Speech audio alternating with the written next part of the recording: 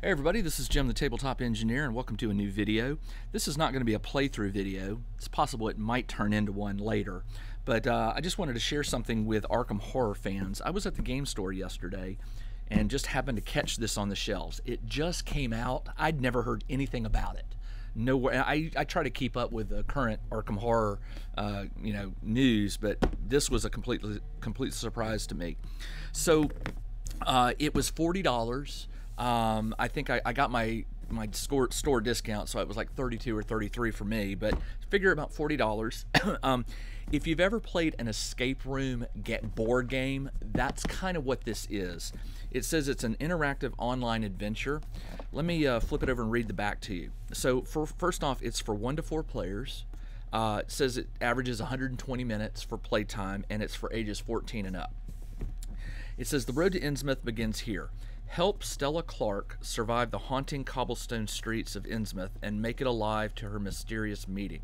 Use the collectible physical artifacts for an augmented point and click escape experience.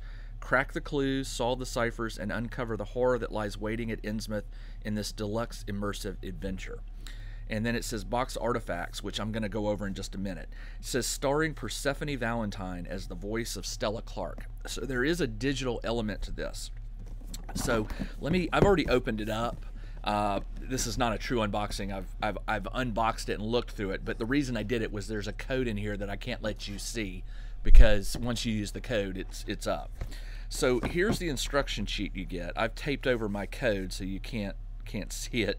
Um, it says before you begin your venture, there's a few steps you need to take to set up and start playing. Below is your unique code. So each box comes with a unique, a unique code. Then it says you go to this website, you type your code in, and then you enter your name to start the game. It indicates that there's a single player mode and a multiplayer mode. So um, that's kind of cool. And then for physical artifacts, this is what's interesting. Even if you're missing an artifact from the box, or let's say you give it to a friend, but you want to keep one of the components, okay? Uh, it says throughout the game you encounter puzzles that require you to use information from the physical artifacts. If for any reason you are not able to access a physical artifact, go to the settings menu, show select show digital artifacts to reveal virtual versions.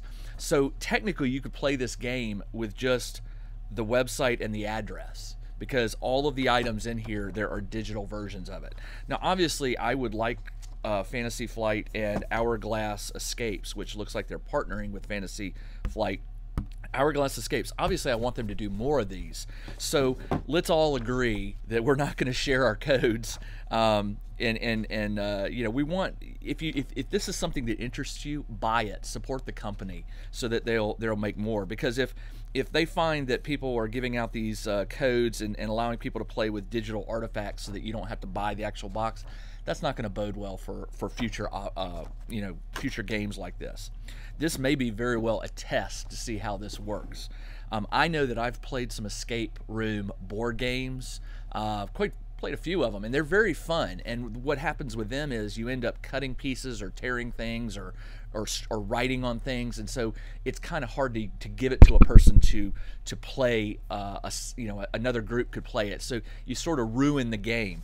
This doesn't look like it offers that. It, it looks like you can get around that, but again, let's try not to do that. Let's try to keep the company uh, happy and, and hopefully making more of these. Let's take a look what's in here. So there is a small poster uh, with some stuff on the back. I'm not looking too carefully at this because I haven't played this yet. I want the surprises to remain. So um, we have some small poster. There's a, uh, a map that unfolds, and again, I'm not looking too close at it. Uh, a couple postcards with stuff on the back, I imagine. Uh, looks like a bus ticket, some sort of business card. Uh, looks like a bookmark to the little bookshop right here. And again, there's probably stuff on the back that I'm, I'm just showing you real quick that there's stuff there. Um, it looks like you get a metal coin. Yep, metal. Um, some sort of key to the Gilman House Hotel. It looks metal, copper, but it's plastic. So it's not, not metal. The coin is metal. And then you get this little Cthulhu idol. Now it's it's plastic, but it's it's not light. It's got a little heft to it. So yeah, it, it'll it'll look good on a desk. so when I'm done playing with this, uh, that's going on a shelf. Um, I will go ahead and tell you, I am a huge, huge fan of the mythos and the Lovecraft stories, and I collect props. I make props. I love the 1920s era. Um, and so stuff like these bookmarks and bus tickets and stuff like that, just a just a huge fan of it. Um, this alone, that alone is just really really nice looking. It it, it uh, it's hard to hard to say, but it it looks authentic. All right, so that is it. I'm going to put everything back in here uh, the way it originally went. Put this on top. And I will let you know, I'm probably not going to record my playthrough of this because I just don't think this will lend itself well to recording since there is a virtual reality component to it. Um, and, and since I'm going to be doing it on a computer screen, eh, it's probably not going to do well. But there you go. The Road to Innsmouth, uh, an interactive online adventure.